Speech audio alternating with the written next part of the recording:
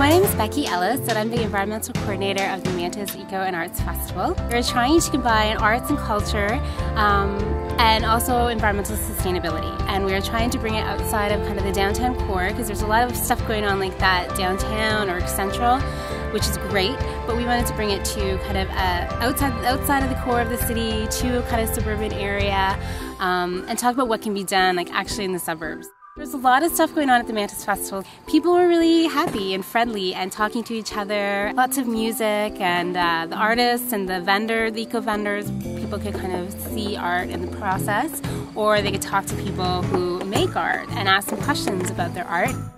We also had several eco workshops about um, permaculture and how people can bring permaculture into their lives, um, about solar power, and how, how important it is, seed saving, and we had one um, which it was hands-on workshop in which people built a bee hotel and also made some seed balls. The workshops were really interactive and people really got a chance to chat.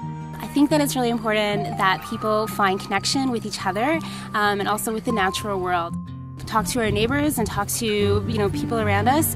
Um, it's also kind of stopping and looking at where we are, where we live the trees we live close to and develop appreciation for them and the animals that we live with and the insects. And um, I just think stopping from the busyness of kind of modern, kind of capitalist society and really stopping to um, feel connected to other people, make connections with other people and other beings and the natural world.